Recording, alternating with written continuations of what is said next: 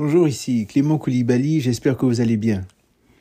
Il y a quelque temps, je pense l'an dernier ou il y a deux ans en tout cas, j'avais euh, posté quelque chose sur le parler en langue, sur la prière en langue et vous savez, c'est un sujet qui continue à faire couler beaucoup, beaucoup d'encre et je suis convaincu que lorsque nous allons quitter cette terre des hommes, ben, les gens vont continuer à en parler encore. Beaucoup de d'opinion sur ce, sur ce point-là. Et, j'aimerais partager avec vous justement quelques pensées sur euh, la prière en langue. La prière en langue, l'importance de la prière en langue. On va d'abord voir comment Satan empêche les chrétiens de recevoir le langage de prière, ce langage-là. Vous savez, Satan a mené une campagne très réussie pour éliminer le don des langues parmi les chrétiens. Il y a tant de mensonges et de malentendus dans l'Église locale, dans l'Église en général, dans le corps de Christ à propos de ce don. En bref, Satan permet à l'Église d'en parler, de l'étudier, de débattre à ce sujet, d'avoir de belles discussions doctrinales, pourvu que les chrétiens ne l'utilisent pas, pourvu qu'on néglige ce don, pourvu qu'on ne l'expérimente pas, qu'on ne le mette pas en pratique. À quoi bon un soldat qui sait tout sur les âmes, euh, sur les armes, pardon, mais qui, qui n'en a aucune en fait. Donc je, je, sais comment nager, je, je, veux dire euh, intellectuellement par exemple, je sais comment faire le crawl, comment bouger mes bras, comment bouger mes jambes, faire la brasse et tout ça, mais je n'ai jamais été euh, dans une piscine. Je sais comment conduire, je connais toute la théorie par cœur, mais me mettre devant un volant, absolument rien. Donc, euh, à quoi est-ce que ça sert d'avoir toute la connaissance, tous les principes sur ce don-là, et puis ne pas s'en servir?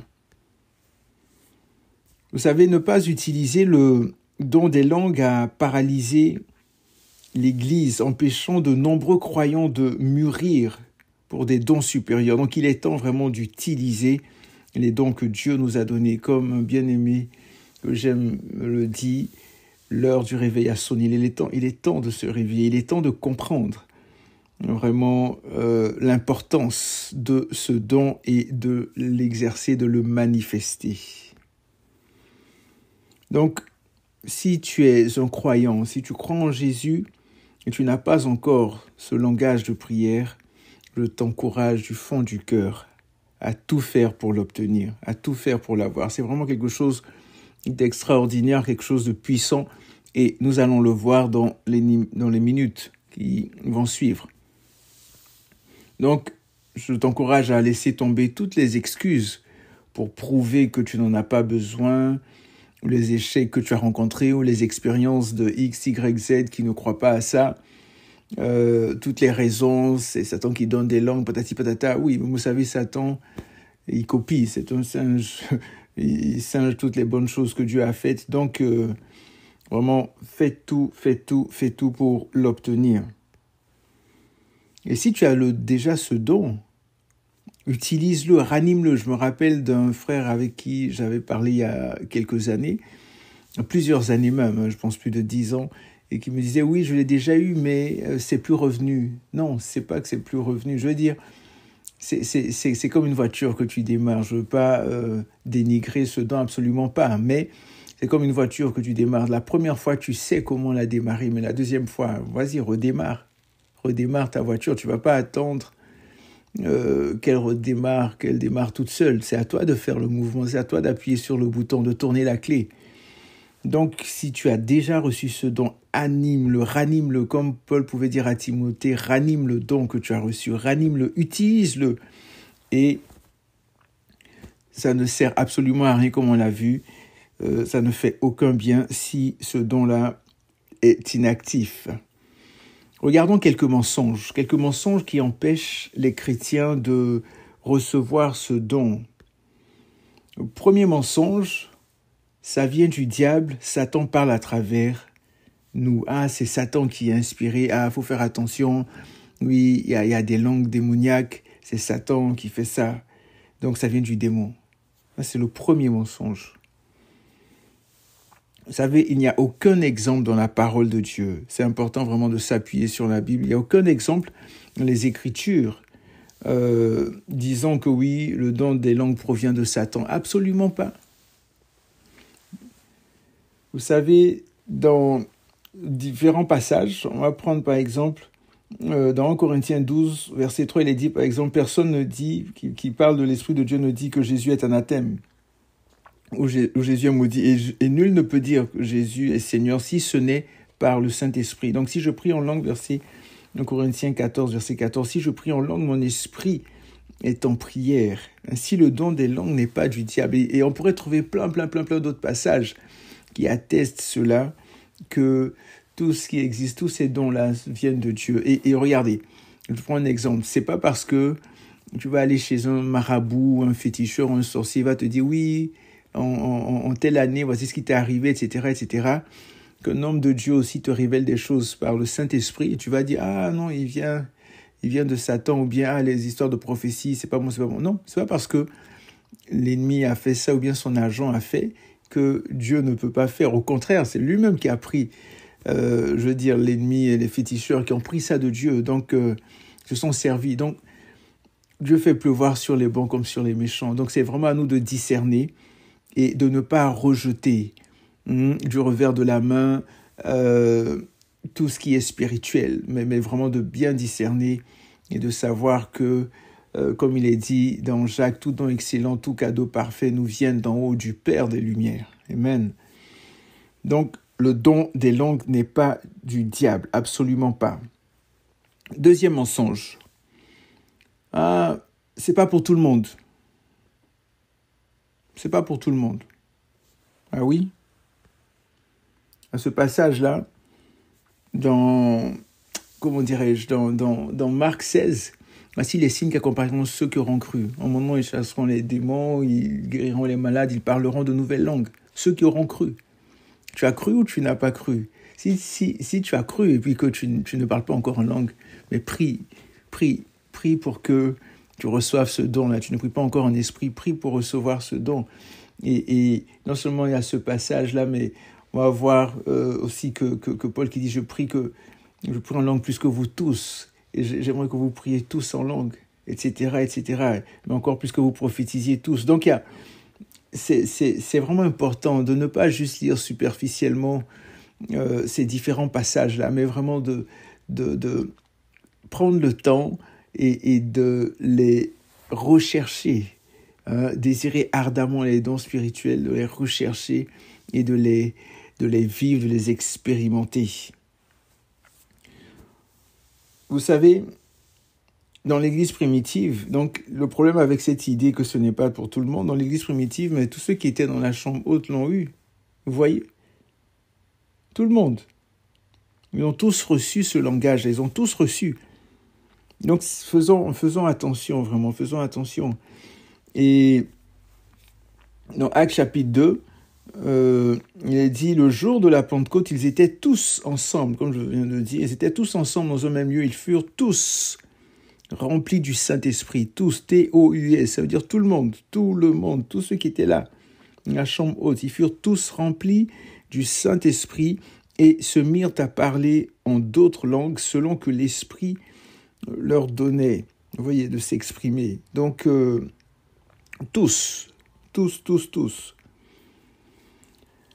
Vous savez, il y a, un homme de Dieu qui a, dirigé une réunion de, réveil où 300 personnes se sont présentées pour recevoir ce don. Et quand il a prié, toutes les 300 personnes l'ont reçu. Alors, quelles sont les chances que ce don ne soit que pour certaines personnes et pas pour d'autres? Donc, ça, c'est des raisonnements humains. Vous voyez, il est accessible à toute personne qui a la foi pour l'obtenir. Et on va voir ce que ça nous apporte vraiment. Euh, à plusieurs années, je, je, je, euh, pense quelqu'un qui avait fait une recherche sur, euh, je pense qu'il avait trouvé près de 70 raisons, je crois, pour, pour, pour, pour prier en langue et tout. Donc c'est vraiment puissant. Un troisième mensonge, c'est que j'ai déjà essayé, ça n'a pas marché, je, je ne peux le recevoir. C'est un mensonge. Je veux dire, euh, tu, tu, je veux dire, si tu pries de façon euh, nonchalante ou négligente, ben, pas sûr que tu reçoives. Comme si tu fais quelque chose, mais tu ne le fais pas sérieusement, tu n'es pas concentré sur ce que tu fais, mais c'est pas sûr que, que, que, que, que tu reçoives. Donc, euh, c'est vraiment d'insister dans la prière, de rechercher, euh, de chercher le Seigneur avec ardeur, avec zèle, avec force, avec courage, et, et, et, vous allez le recevoir. Vous allez le recevoir au nom de Jésus.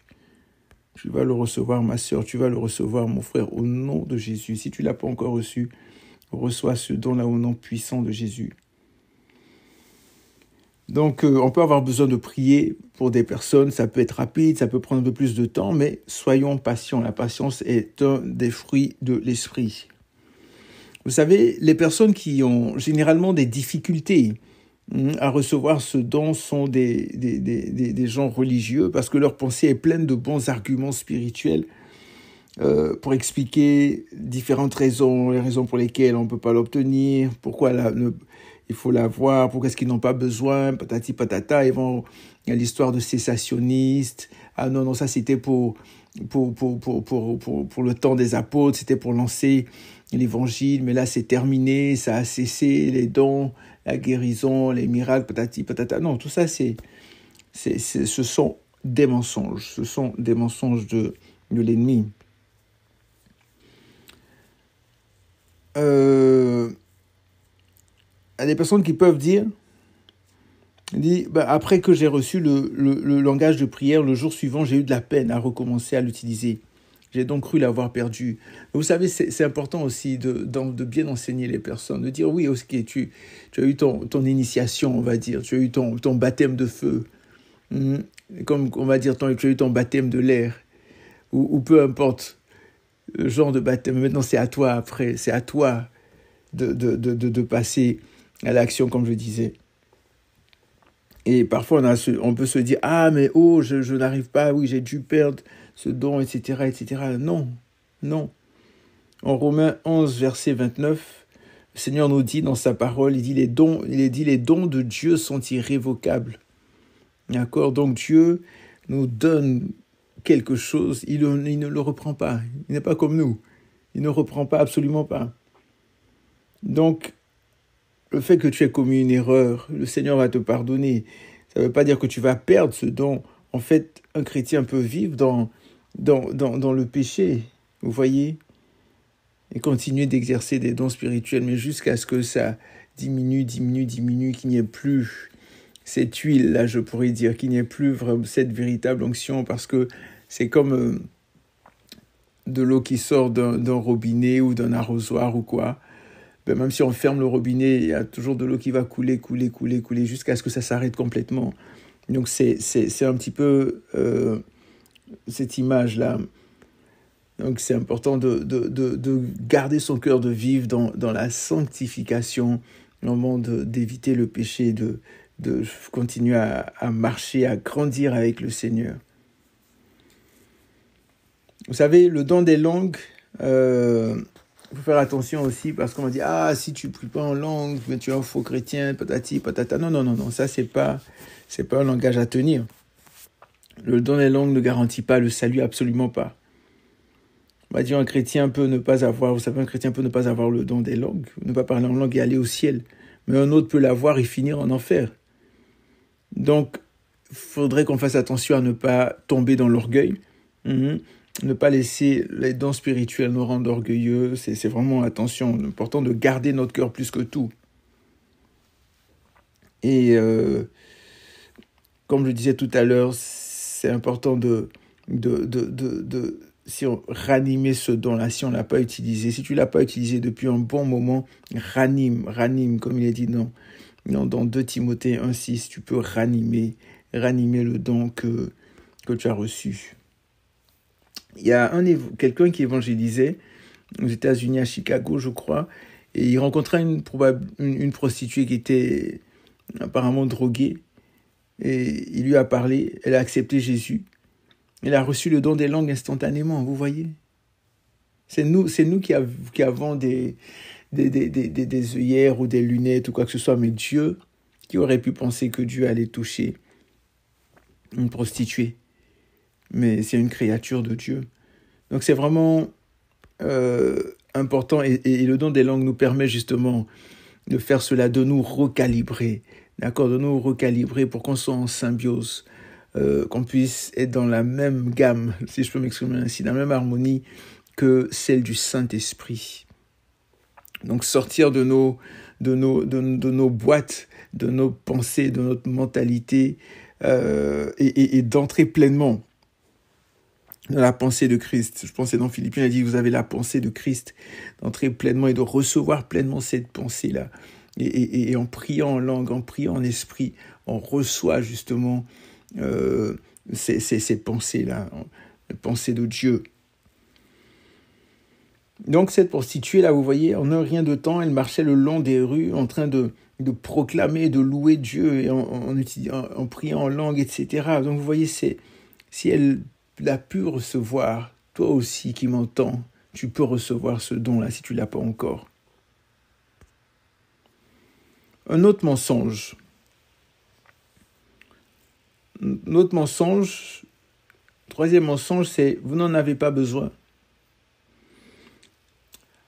En fait, c'est la pire sagesse de l'homme, car Dieu n'est pas si confus au point de donner à l'Église un don dont elle n'a pas besoin.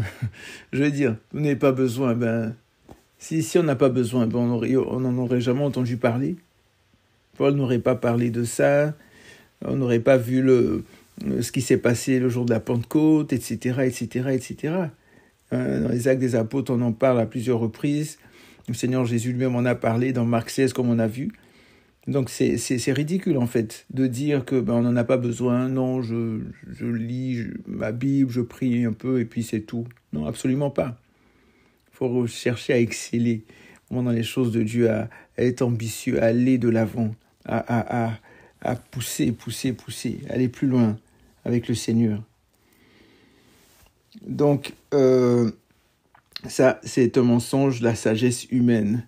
Vous savez, euh, la majorité des personnes dans l'Église ne marchent pas dans le surnaturel. Pas de vision, pas de prophétie, pas de miracle, pas de guérison, pas de délivrance, pas de réveil. Pourquoi? C'est pas normal. Ce n'est pas normal. Dans Corinthiens 4, 20, il est dit Le royaume de Dieu ne consiste pas en parole, mais en puissance. Nous avons besoin que la puissance de Dieu soit à l'œuvre dans l'Église, soit à l'œuvre partout où on est, partout où on va. Et l'Église, oui, c'est les frères et sœurs qui se rassemblent, mais moi aussi, je veux dire, toi, là où tu es, moi, quand quelqu'un est en ta, en ta présence, étant donné que tu es le temple du Saint-Esprit, le Saint-Esprit habite en toi, la personne, qu'elle le veuille ou pas, qui est en face de toi, même si c'est juste vous deux, elle est quelque part à l'église. Elle est dans l'église, elle est avec l'église, dans, la mesure où toi, tu représentes Christ. Donc, tu as le Saint-Esprit en toi. Donc, euh, c'est vraiment important aussi d'être sûr, d'être convaincu de son identité d'enfant de Dieu et de savoir qui on est et, se comporte. Mensonge numéro 4. Le don a pris fin après l'Église primitive. J'en ai parlé un petit peu. Le fameux langage cessationniste, les continuistes, les dons spirituels qui ont cessé, etc. Absolument pas, c'est faux. Il n'a pas disparu du tout. Des millions de chrétiens ont ce don. Des millions, des millions. Prie en langue. Prie en esprit. La même chose. Marc 16, 17, j'en ai parlé un petit peu. Voici les signes qui accompagneront ceux qui auront cru en mon nom. Ils chasseront les démons. Ils parleront de nouvelles langues. Jésus qui a dit, les signes qui accompagneront. Donc ce don n'a pas expiré, il ne va pas expirer.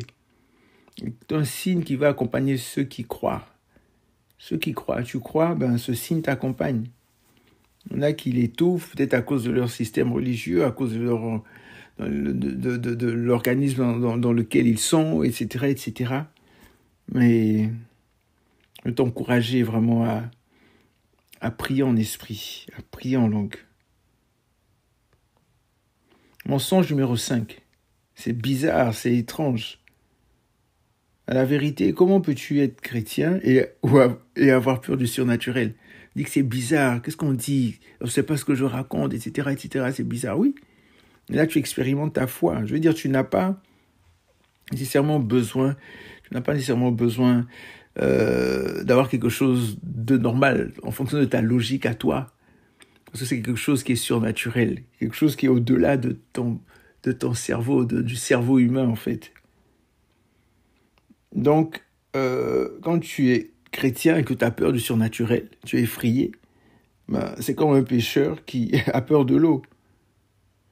Ou un chauffeur ou un camionneur ou je sais pas quoi, mais qui a peur de prendre l'autoroute. Ça ne marche pas, absolument pas. Normalement, nous devons, en tant que chrétiens, en tant que croyants, être capables de gérer et d'avoir soif du surnaturel. C'est bizarre, quand on lit Ézéchiel, on voit des anges ou bien des formes d'yeux bizarres ou des yeux partout, etc. etc. C'est pas bizarre ça? Ben, c'est le surnaturel. Vous savez, quelque part, il y a la peur de l'homme aussi. La peur de l'homme qui empêche de nombreux croyants d'opérer dans le surnaturel. La peur, la peur, la peur. Oh, Dieu nous a pas donné un esprit de peur ou de timidité, mais un esprit de force, d'amour et de sagesse, de courage. On a besoin d'être délivré au nom de Jésus de la peur. Il y a quelqu'un qui euh, avait un langage de prière, donc son, son, son parler en, langue était étrange et puis qui avait absolument rien à voir avec un langage naturel en fonction de ce que les gens connaissaient ou comprenaient. Et beaucoup de gens auraient euh, pu estimer qu'il était faux, mais un jour, elle s'est assise à côté d'une personne qui parlait inuit, donc une langue indienne rare des Esquimaux, et après avoir écouté la langue de prière de, de cette sœur-là, l'homme a dit à côté d'elle, l'homme inuit a dit, Madame, savez-vous ce que vous venez de dire? Vous exprimez une belle prière à Dieu. Ainsi, bien que sa langue de prière ne semblait pas naturelle, elle fut légitimée. Donc, ne jugeons pas une langue de prière par la sagesse humaine sous prétexte qu'elle ne semble pas normale. Parfois, le chrétien peut déjà avoir reçu le don de, euh, de, de, de des langues sans le savoir, donc ce langage de prière-là. Donc, en fait, en fait et, ça, c'est dans, dans la vidéo que j'avais faite il y a quelque temps, je pourrais essayer de, retrouver puis mettre le lien euh, en dessous, mais, mais c'est de dire qu'il y, a, y a différents types de langues aussi. Il y a la, la, les langues célestes et les langues terrestres. La langue des anges, la langue des hommes et tout ça. Donc on peut prier en langue et puis, mais disons que je n'ai jamais appris le chinois. Et puis, mais je prie en langue et c'est du chinois. Donc un chinois à côté va comprendre. Mais il y a la langue des anges aussi. La langue de Dieu, vous voyez Donc, l'ennemi, qu'est-ce qu'il va faire?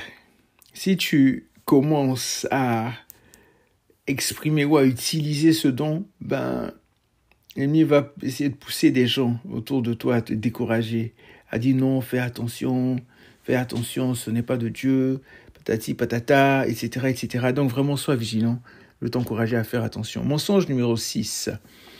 Mensonge numéro 6, notre Église ne se focalise pas sur les dons spirituels. C'est juste une façon religieuse, en fait, de dire nous sommes ignorants au sujet des dons spirituels. Notre Église ne se focalise pas sur les dons spirituels. Ça veut dire quoi ça? C'est un non-sens, en fait. C'est absolument un non-sens. L'Église, le corps de Christ, ne pas être spirituel, ne pas se focaliser sur les dons spirituels. C'est juste la parole, la parole, la parole. Non, la parole est la puissance. On voit dans Acte chapitre 6, c'est Pierre qui a dit, il ne nous est pas permis de, on va, on va pas servir aux tables, mais on va, on va s'atteler à la prière et à la parole. Donc cette puissance-là, donc on reçoit la puissance du Saint-Esprit.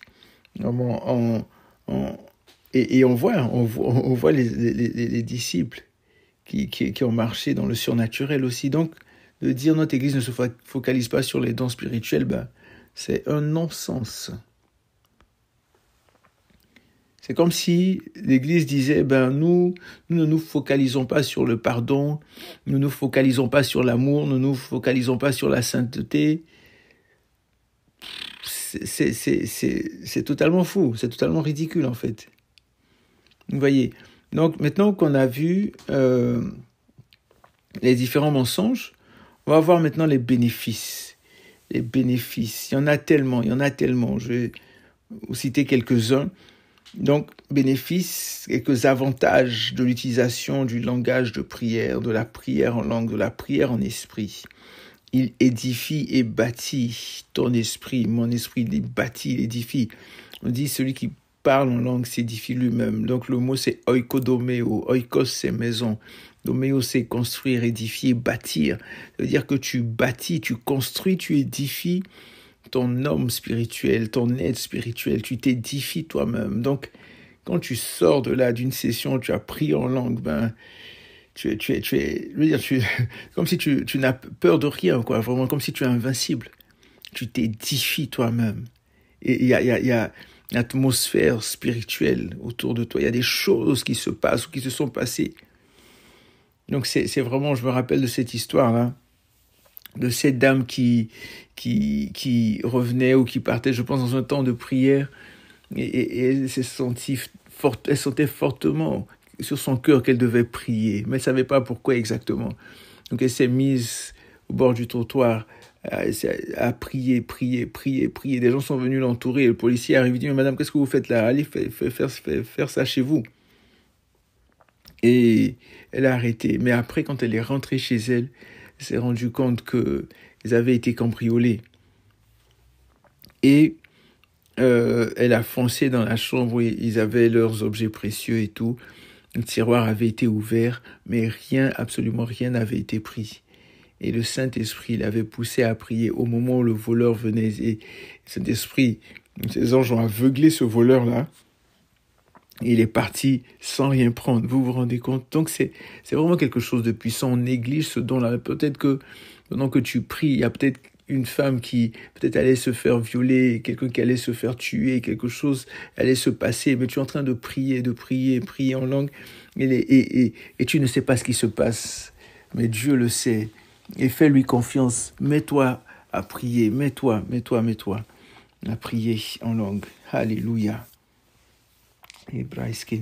Prie, prie en langue, prie, prie, prie, prie, édifie. Donc il édifie et bâtit. Il édifie et bâtit l'esprit.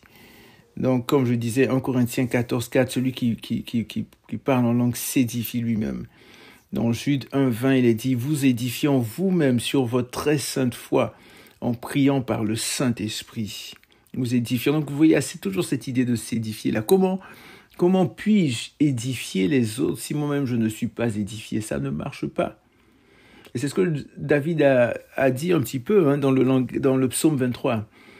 le psaume 23, il est éternel mon berger, je ne manquerai de rien, me faire reposer dans de verts pâturages, il me dirige près des eaux paisibles. Et quand je marche en veille de l'ombre de la mort, je ne crains aucun mal, car tu as avec moi ta houlette et ton bâton me rassurent. Je suis devant moi une table en face de mes adversaires, tu vois de ma tête et ma coupe déborde. Mais en fait, ce que je veux dire par rapport au psaume 23, c'est que David, à un moment dit, David, en tant que bon berger, hein, et, on le voit dans, dans, Jean 10 aussi, le Seigneur Jésus, en tant que bon berger, il va d'abord voir ces verts pâturages-là, où est-ce qu'ils se trouvent. Il va explorer le territoire, et ensuite il amène ses brebis. Donc, en fait, il, ce qui n'a pas vu, ce qui n'a pas su, ce qui ne connaît pas, ben, il ne peut pas le faire profiter à d'autres. Donc, le fait de s'édifier et tout, mais c'est pour être une source de bénédiction pour les autres aussi. Pour que les autres puissent aussi manger le fruit que nous avons en nous, que les autres puissent être touchés, pour que les autres puissent être visités. Donc, on a, on vraiment besoin d'expérimenter ce genre de choses, d'avoir des expériences avec le Saint-Esprit, de rechercher le Seigneur de tout notre aide, de tout notre cœur. Recherchons-le, je vous en supplie. Recherchons Dieu. Recherchons-le et nous-mêmes nous allons être surpris de voir ce qu'il va faire avec nous, en nous, pour nous et pour les gens autour de nous. Donc, celui qui parle en langue s'édifie lui-même et vous édifiant vous-même sur votre très sainte foi en priant par le Saint-Esprit. Donc cette édification. 1 Corinthiens 14, 4 et Jude 1, 20. En 1 Corinthiens 14, 18, regardez ce que Paul dit. Paul dit, je rends grâce à Dieu de ce que je parle en langue plus que vous tous. Et c'est Paul qui a écrit la moitié, sinon plus, sinon le trois quarts du, Nouveau Testament. Il avait de ces révélations extraordinaires. Et là, il nous décrit un petit peu le secret, le secret, un de ses secrets. Hein, je pense au principal même, c'est sa vie de prière. Le fait qu'il dit, je parle en langue plus que vous tous. Je parle en langue plus que vous tous, plus que vous tous. Et bien entendu, si Paul a pu expérimenter toutes ces choses extraordinaires jusqu'à aller au troisième ciel et qu'il est passé par là, pourquoi est-ce que nous allons nous priver de cela Vous voyez? D'après plusieurs témoignages, le don des langues s'oppose aussi au mauvais esprit. Ce don est souvent utilisé dans la délivrance, chasser des esprits démoniaques. Donc, si tu veux combattre le bon combat contre Satan, prier par le Saint-Esprit est une arme puissante. Le langage de prière a été utilisé, comme on l'a dit, euh, par Dieu pour démarrer la première Église. Vous voyez Le Seigneur a utilisé le don des langues. Dans Acte chapitre 2. Donc, pour cette assemblée-là, pour, euh, pour les 120 et tout, quand il a démarré, le Seigneur a utilisé ce don. Vous pensez que ceci, c'était pas quelque chose d'important, le Seigneur l'aurait fait? Absolument pas. Donc dans Acte chapitre 2, tous les disciples étaient ensemble réunis dans un même lieu. Ils furent tous, comme on a vu tout à l'heure, tous remplis du Saint-Esprit et parlèrent en d'autres langues. Et ce même jour, environ 3000 personnes sont venues à Christ, ont soumis leur vie à Jésus. 3000 personnes. Alléluia. Eh bien, si c'est la façon dont Dieu a débuté la première Église, il n'est donc pas très sage pour nous de sauter cette importante étape. Absolument pas. Mais on veut faire les choses à notre propre manière et pas à la manière de Dieu. Et c'est dommage. Et c'est pour ça qu'on se trompe royalement, c'est pour ça qu'on se gourre, c'est pour ça qu'il y a plein de difficultés, plein de problèmes et tout. Parce qu'on veut faire les choses comme nous nous pensons. On peut même euh, porter des messages, on peut, on peut monter une structure, une assemblée, tout ça, mais sans l'Esprit de Dieu. Et c'est dommage, c'est dommage. Et on, on, on, voit les résultats. Donc on a vraiment besoin de passer par ce chemin-là. En fait, Jésus a dit à ses disciples avant de partir, euh, avant de partir, et quand il est revenu aussi, il a dit, attendez jusqu'à ce que vous soyez revêtus de la puissance d'en haut. En Luc 24, 49, et puis en Actes chapitre 1, verset 4. Il dit, attendez jusqu'à ce que vous soyez revêtus de la puissance d'en haut et de la puissance du ciel. Et, lorsque, le jour de la Pentecôte, ils ont reçu le Saint-Esprit, euh, ils ont eu des langues de feu et tout ça, ben, ils ont reçu cette puissance d'en haut là. Ils l'ont reçu. Vous savez, il y a un constat euh, très douloureux, c'est qu'il y a plusieurs chrétiens, plusieurs chrétiens sont épuisés parce qu'ils n'ont pas la puissance de Dieu, ils n'ont pas la puissance du ciel, ils n'ont pas la puissance de haut. Ils travaillent, comme on disait, ils travaillent leur propre force, pas celle de Dieu. Ils comptent pas sur le Seigneur. Mais c'est dommage. Faisons, faisons attention, on peut faire l'œuvre de Dieu, mais déjà arrivé et, et, c'est pas agréable du tout. On peut faire l'œuvre de Dieu sans Dieu. Mais c'est quoi les fruits? Pas grand-chose. Même quand on fait l'œuvre de Dieu avec Dieu, là c'est extraordinaire. Parce que c'est lui qui nous guide, c'est lui qui nous conduit. On, ne fait que suivre la nuée. On ne fait que suivre la nuée. La nuée s'arrête, on s'arrête. La nuée va à gauche, on va à gauche. La nuée va à droite, on va à droite. Ne fait que suivre la voie du Saint-Esprit. Et, ces chrétiens-là, ou ces croyants qui, qui euh, font des choses par leur propre force, ben, se sentent fatigués, surchargés. Et, veulent même abandonner l'œuvre de Dieu, vous savez. Et pourtant Jésus a dit mon joug est doux, mon fardeau léger.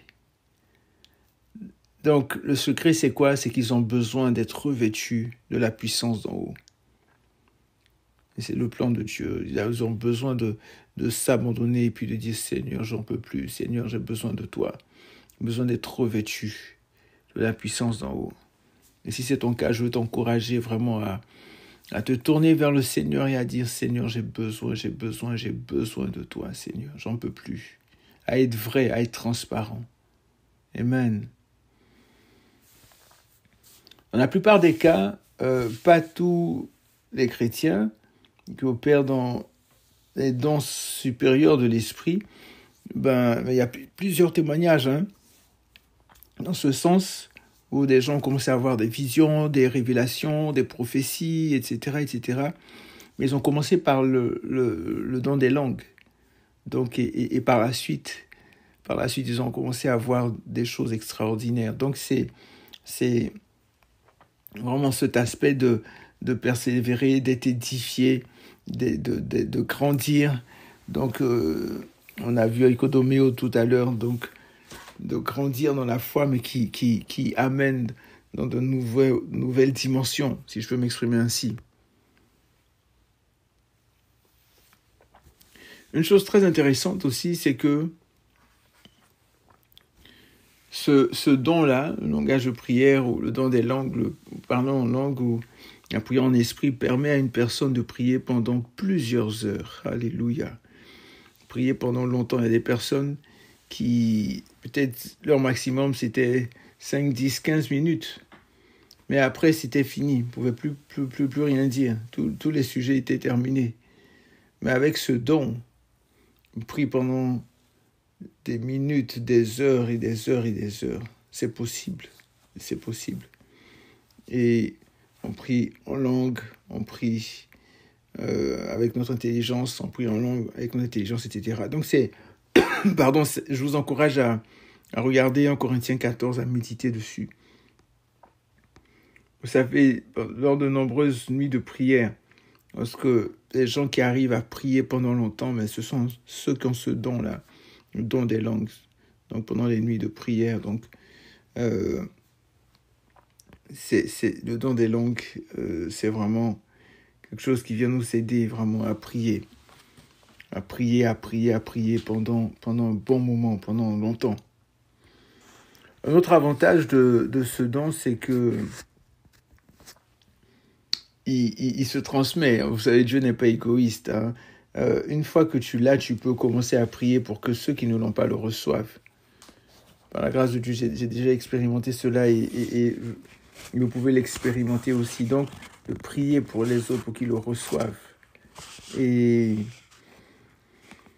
en Jean 3,6, le Seigneur Jésus pouvait dire ce qui est né de l'esprit est esprit. Donc en fait, tu, tu communiques quelque chose à l'autre et il le reçoit, il est béni. Donc, euh, les croyants qui ont ce don-là doivent chercher à le partager avec ceux qui ne l'ont pas. Matthieu 18 dit, vous avez reçu gratuitement, donné gratuitement. Matthieu chapitre 10, verset 8. Donc comment obtenir ce don-là? Comment, comment obtenir? Comme je disais un petit peu tout à l'heure, en Corinthiens 14, 1, il dit désirer ardemment les dons spirituels, ardemment de tout notre cœur, de toute notre force, passionnément, vraiment, sincèrement, désirer ardemment. Donc comment l'obtenir? C'est vraiment en désirant ardemment de recevoir ce don-là. Ensuite, de trouver une assemblée, un groupe de prière qui utilise ce don.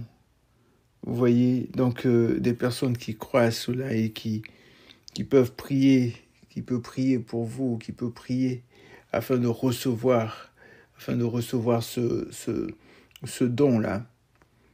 Mais une chose est sûre, c'est qu'il ne faut jamais abandonner. Il faut jamais, jamais, jamais abandonner. Donc, euh, ça va prendre le temps que ça va prendre. Dieu est le maître des temps, des circonstances. Mais ayez soif, ayez soif et laissez Dieu faire son œuvre dans vos vies. Vous savez, il y a un démon intitulé euh, Stop Langue ou Stop Langage, c'est un esprit religieux parmi les chrétiens et quand une personne est sur le point de recevoir le don des langues, ce, mauvais esprit inonde sa pensée avec tous les bons arguments religieux pour ne pas recevoir le langage de l'esprit ou bien pour ne pas prier. Vous voyez, des, des, pensées de peur, d'inquiétude, quand dira-t-on, blablabla, etc. Et même des chefs religieux, des croyants, des chrétiens vont se lever contre ce don-là. Mais que faut-il faire? Que faut-il faire? Il faut prier pour eux. faut chasser des voix que tu peux entendre et puis prier pour ceux qui ne comprennent pas encore et puis euh, respecter là où ils sont et puis avancer quoi. Voilà tout simplement.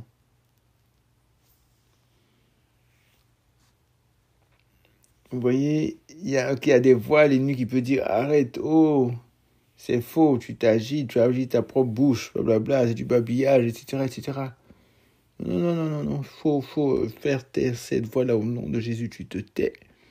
Je loue, j'adore mon Seigneur, etc. Donc, on doit ignorer la voix de, de l'ennemi.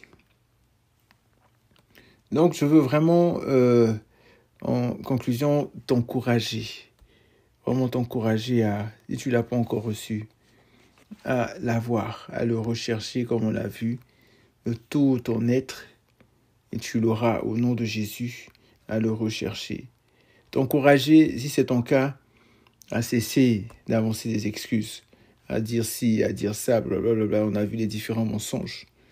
T'encourager vraiment à arrêter, à arrêter et puis à chercher à, recevoir, à obtenir ce don-là. Donc euh, voilà, que Dieu te garde, que Dieu te bénisse. Et Seigneur, je prie pour cette personne qui écoute en ce moment. Merci d'étendre ta main sur, sur elle, Seigneur, sur cette personne, ce frère, cette sœur. Au nom de Jésus, merci de la bénir, de la remplir, Seigneur. Si elle n'a pas encore reçu ce don-là, qu'elle la reçoive au nom de Jésus. Si elle a reçu, qu'elle puisse ranimer, ranimer, ranimer et s'en servir véritablement et aller encore plus loin avec toi, Père. Seigneur, merci. Merci pour ce cadeau précieux que tu as fait à ton Église, à tes enfants. Seigneur, nous te sommes infiniment reconnaissants. Merci, Papa, pour à la déchets pour ton amour, Père. Merci pour ta bonté, pour ta fidélité. Seigneur, merci parce que, oui, tu sais mieux que nous, Seigneur, la valeur et tu nous, tu nous permets, Seigneur, d'expérimenter cela, de vivre cela. Seigneur, merci, Papa, pour ce langage. Merci pour les dimensions dans lesquelles nous amène, Seigneur mon Dieu, à aller avec toi encore plus loin, Seigneur, avec ton esprit. Que la gloire, l'honneur, la puissance te reviennent, Père, pour les siècles des siècles. Amen. Merci pour l'œuvre de la croix. Merci, Seigneur Jésus, tout ce que tu as accompli dans le nom puissant de Jésus. Amen. Donc portez-vous bien, prenez soin de vous, que Dieu vous garde, que Dieu vous bénisse et surtout n'oubliez pas que Jésus revient très très très bientôt. À la prochaine.